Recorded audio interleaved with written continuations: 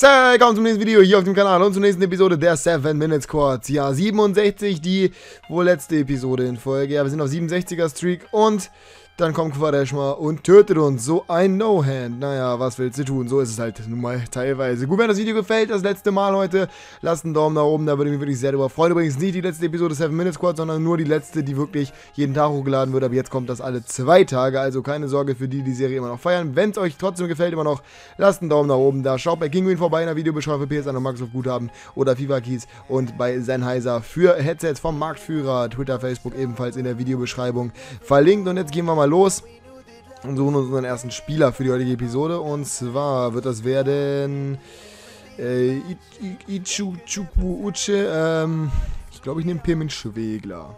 Nehme ich Schwegler? Eigentlich könnte ich Schwegler nehmen, weil, ja. Äh, hat er dummer, äh, hat er dummerweise getroffen gegen Hannover äh, am Samstagabend mit dem direkten Freistoß, den Sakai unnötigerweise verursacht hat. Aber das hält mich jetzt nicht davon ab den zu benutzen. Kann er ja auch nichts für, dass Sakai so blöd war. Ähm, so. Brauchen wir eine Formation? Ich würde sagen, die knobeln wir eben aus. Ach, ich sollte ja auch nicht aufmachen, ne? 4, 2, 3, 1 kann ich mit leben. Ist jetzt nicht ideal, weil ich wollte ganz gerne Lichtscheine einbauen. So geht das natürlich nicht. Außer der Inform, und der hat man schon mal. Aber ich krieg das schon irgendwie hin. Muss ich noch einen Timer stellen? As per usual kennen wir ja mittlerweile, ist ja ein alter Hut. Und dann starten wir das Ganze, würde ich sagen, in 3, 2,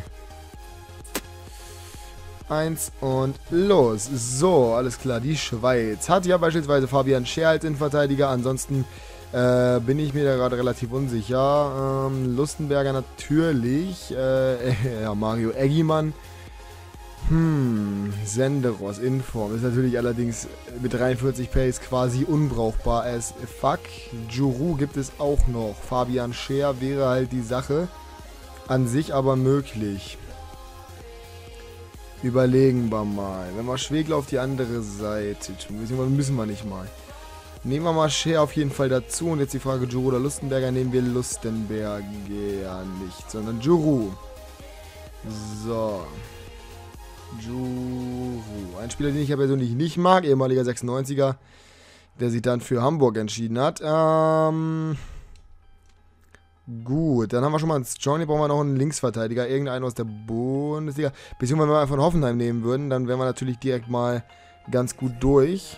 Da haben wir Hoffenheim, Linksverteidiger haben sie Kim Sin Yu, der gestern, oder Kim Yin Su, wie auch immer, Kim auf jeden Fall, der, der gestern, oh, der war wirklich richtig, richtig stark, das hätte ich nicht so erwartet. An die Back hätten wir dann auch noch. Auf der anderen Seite, ich glaube auch für Back entscheide ich mich einfach mal, weil Kim... Nee. Äh, passt schon. So, äh, dann kommt Fabian Scher, das habe ich ja schon angedeutet. Ähm, als Linksverteidiger stellen wir dann irgendjemanden hin. Und als Sechser brauchen wir jemanden von Basel. Ich habe da schon jemanden im Blick, ich weiß aber nicht so wirklich, ob das ganz funktionieren wird. Reifeisen Swiss League oder Reifeisen SL auf jeden Fall. Ähm, Basel, so. Hm. Sereidi. Es ginge mit ihm, er sieht auch echt nicht schlecht aus, aber ich glaube, es gibt hier auch noch Diaz, oder? Ja, da haben wir ihn. Ich glaube, Diaz nehme ich lieber. So, ähm, Linksverteidiger jeglicher aus der Schweizer Liga wäre in Ordnung. Ob es da jemanden ansatzweise vernünftigen gibt, ist halt die Frage. Da bin ich mir noch nicht ganz so sicher. Das war gerade zweimal richtig schön gefailt. Ähm, spontan fällt mir keiner wirklich ein, aber... Ja, okay, er spielt beim gleichen Verein, das ist ein bisschen blöd. Aligi und Safari auch. Das heißt, die beiden Besten sind raus, weil sie beim gleichen Verein spielen. Außer wir wollen hier overlinken und das will ich eigentlich nicht. Ähm, wie sieht es mit Rechtsverteidigern aus? Sutter, Sutter.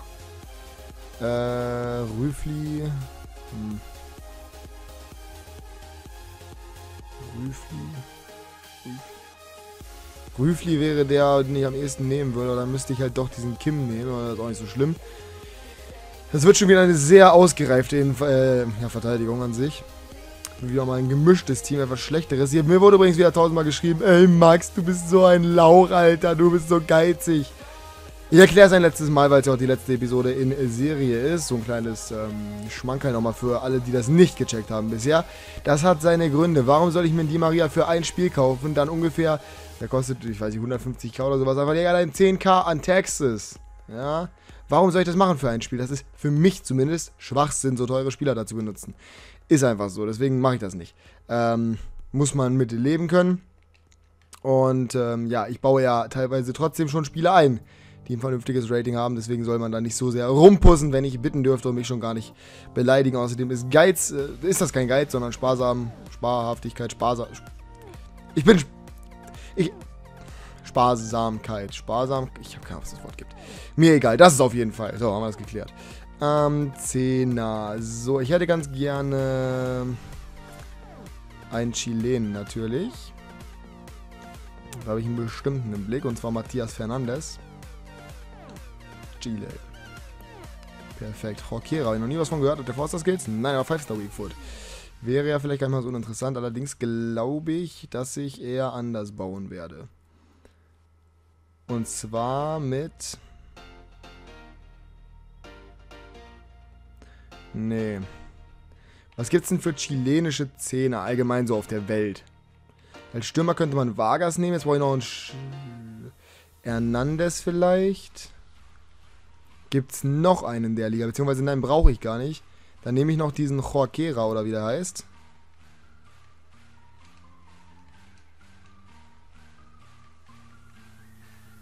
Äh, da ist er. Und als Stürmer dann Edu Vargas. Beziehungsweise von mir aus wen anders. Ist ja an sich erstmal egal, welcher Chilene. Irgendein Chilene halt, aber ich glaube, er ist schon der Beste. Und dann sind wir schon mal fertig auf jeden Fall. Jetzt muss ich kurz überlegen, gibt es vielleicht noch eine andere Möglichkeit? Man könnte natürlich auch noch Vidal nehmen anstelle von äh, Joaquera, aber Vidal ist halt eher ein Sechser. Wobei der vielleicht auch ganz geil passen würde, ne? Weil der hat auch keine Forster-Skills leider. Ja, Arbeitsraten für einen 10 eigentlich nicht so geil. Der ist halt auch verschwendet da mit 81 Defending, ne? Man kann natürlich trotzdem alles. Hm.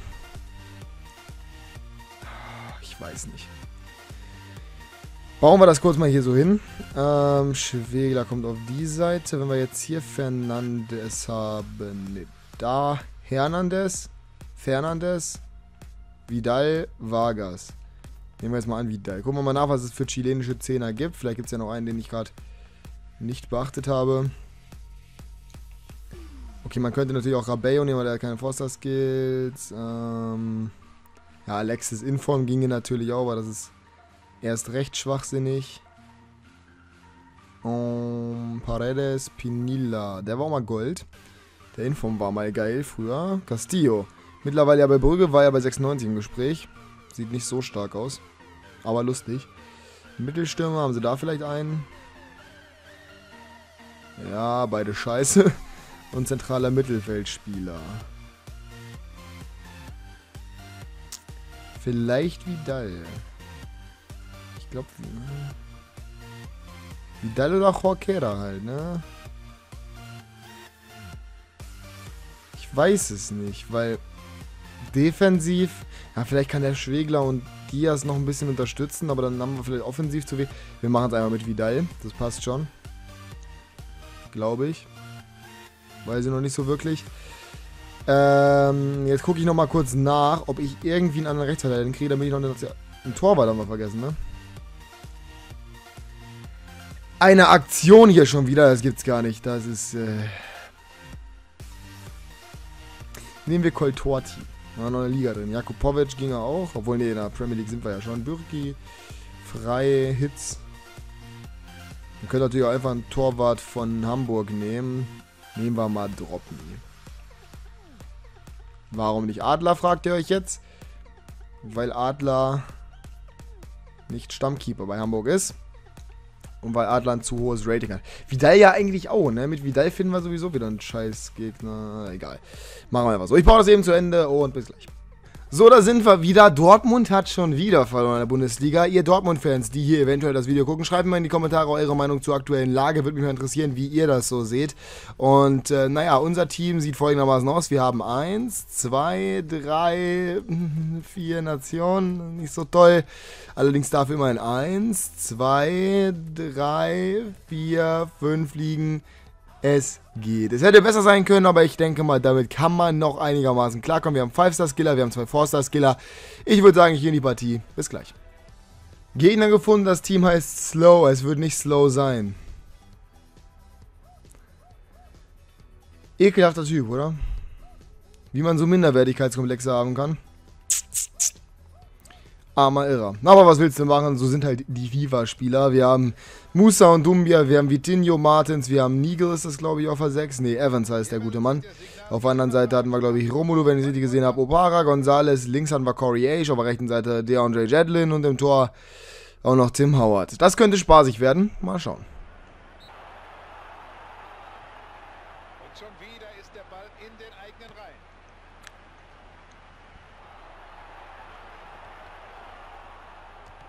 Ah, schade. Wäre auch zu schön gewesen. Aber bisher läuft es ganz gut. Also er hatte ein Volley mit Musa, aber der war jetzt nicht irgendwie berauschend oder gefährlich oder sowas. Ähm ich hatte fast eine Schusschance mit Schwegler. Auch noch fast. Ja, ja, ja, ja, ja, ja, ja. Schade. Das hat sich auch komisch angehört.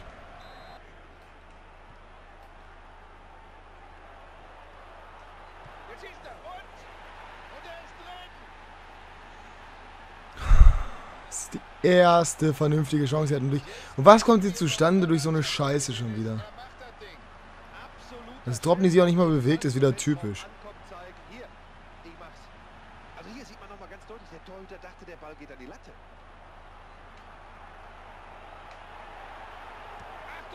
Und das ist die perfekte Antwort. Perfekt. Ah, Gott sei Dank habe ich wieder reingenommen.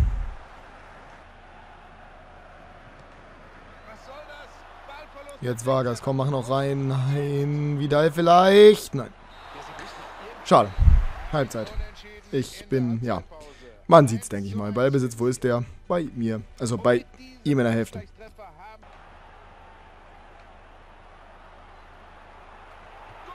Ja, das war mehr Glück als Verstand. Eigentlich hatte ich aber auch den rechten Stick nach vorne gedrückt, weil Okay. Äh, ich habe den rechten wieder vorne gedrückt, weil ich mir einmal weit vorlegen wollte. Hat er nicht gemacht, aber dann habe ich halt ein bisschen Lack von mir auch so. Ist verdient.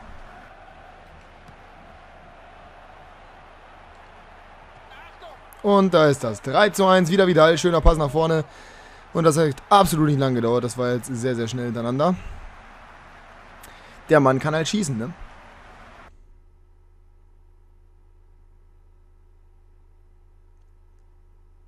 Freut man sich, dass er quittet und im Endeffekt wächst er wahrscheinlich nur wie Ibabo ein oder so. So ein Vollidiot. Naja, mir, mir soll es recht sein. Ähm, verdienter Sieg. Zwei Tore von Vidal, eins von Vargas, Torvorlage von Vargas, zwei von Schwegler, eine Schwegler, also deinen Dienst geleistet. Ähm, ja, er war halt echt, ne. Ein Schuss aufs Tor von Musa, der war drin, einer von Martens, der absolut ungefährlich war. Ja, war jetzt nichts Überragendes, aber das habe ich ja schon gesagt, der hat ein Minderwertigkeitskomplex, sonst würde ich mit so einem Team spielen. Das war's von dieser Episode, ich hoffe, es hat gefallen. Wenn ja, lasst einen Daumen nach oben da und wir sind beim nächsten Mal wieder. Bis dann, ich wünsche euch einen wunderschönen Tag. Haut rein und ciao.